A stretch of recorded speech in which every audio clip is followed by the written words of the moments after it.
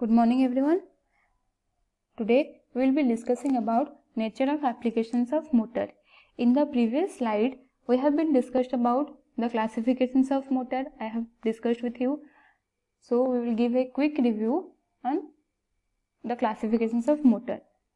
Okay, as I have told you the motors are classified in four following that is bulk density, kind of binding material, nature of application and fourth is special motors.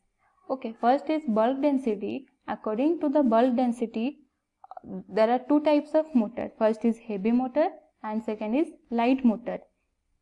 As I have told you, the heavy motor mainly the bulk density of heavy motor is 15 kilonewton per meter cube or more than that. And lightweight motor means the motor having bulk density which is less than 15 kilonewton per meter cube. Okay. So next is kind of binding material. As I have told you, there are five categories of binding material. First is lime motor, surkhi motor, cement motor, gauze motor and gypsum motor. Okay. And I have discussed with you all these types of motor. In the lime motor, the lime is used as a binding material. And there are two types of lime that is fat lime and hydraulic lime. And this lime motor has a high plasticity and it can be placed easily. Okay. And next is it, it as we know it is sufficiently durable but it hardens slowly. Next is surkhi motor. In surkhi motor lime is used as a binding material and surkhi is used as a fine aggregate. Okay. So next is the surkhi as we know the surkhi is a finely powdered burnt clay which provides more strength than the sand and it is chiefly available in the market. You can see i have shown you the diagram here. And mainly but it cannot be used for plastering or pointing. Okay because it is red in color. Next is cement motor nowadays we are also using cement motor okay cement is used as a binding material. And in this type of a motor the sand is used as a aggregate. Okay the proportion of cement to sand is mainly varies from 1 is to 2 to 1 is to 6 and this cement motor will give a high strength and resistance against the water. So fourth is that is gauzed motor. In gauzed motor, the combinations of lime and cement is used as a binder material and the sand is used as a fine aggregate. Okay. And in this motor, it will have a high plasticity of the lime and high strength of the cement and in this gauzed motor to improve the quality of the lime motor and to achieve the yearly strength the cement has been sometimes added to it. So we can say it as gauzed motor. Okay. But in now we'll read about gypsum motor. In the gypsum motor it contains some plasters and sand as a binding material or a fine aggregate. And it, in the damp conditions it has a low durability. You can so see here the diagram of gypsum motor so now we will be discussing about nature of the application. According to the nature of the application, the motors are classified in two categories. First is bricklaying motors, second is finishing motors. In the bricklaying motors, the motors for, for bricklaying are intended to be used for brickwork and walls.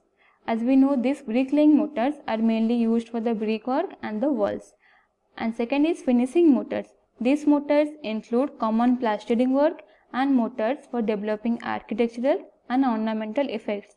And lastly, we use plastering work. Also, we use motors for plastering work and for developing architectural or ornamental effects for decorative purposes. Okay, next is special motors. Fourth one is that is fourth process that is known as special motors. The following are the various types of special motors which are used for certain conditions. So first is that is fire resistance motor. This motor is prepared by adding aluminum cement to the finely crushed powder of fire bricks. Okay. In this motor, this motor is mainly prepared by adding aluminum cement to the finely crushed powder of fire bricks. As I have discussed with you the classifications of bricks, I have discussed with you fire that is burnt bricks and unburnt bricks. So we can say that the burnt bricks some powder of burnt bricks have been used here. Okay have been added to the aluminum cement. So next is that is lightweight motor. This motor is prepared by adding materials such as sawdust wood powder etc to the lime motor or cement motor. Okay so in this motor in the lightweight motor some material that is sawdust or wood powder has been added to the lime motor or cement motor next is third is packing motor the special motors possessing the properties of high homogeneity and water resistance. These packing motors mainly have the properties of like high homogeneity and water resistance. And the varieties of packing motors include that is cement sand, cement loam, cement loam sand. Okay. So next is sound absorbing motor. In the sound absorbing motor, the the sound absorbing plaster is formed with the help of a sound absorbing motor. Okay, and the bulk density of this motor varies from 6 to 12 kilonewton per meter cube. As I have told you, the sound absorbing motor of this bulk of the bulk density of the sound absorbing motor is that is 6 to 12 kilonewton per meter cube. And in the sound absorbing motor, the binding materials that we use that is um, Portland cement, lime, gypsum, okay. And fine aggregates that we use the powder of volcanic rocks okay.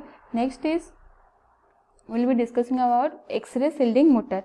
In x-ray shielding motor this type of a motor is used for providing the plastering coat to the walls okay and it is a heavy type of motor and it having the bulk density that is 22 kilonewton per meter cube okay so in this motor, the aggregates we use in this motor, they are mainly obtained from the heavy rock. As I have told, it is a heavy type of a motor.